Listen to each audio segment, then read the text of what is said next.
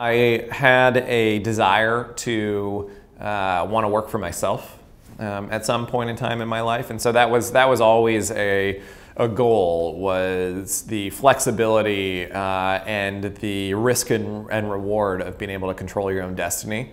So, so I think very, very early on, I knew that that was something, even before I was in, even in the workplace, uh, that was something that I, I really uh, was drawn to. So, so I think that's one of the things that motivated me.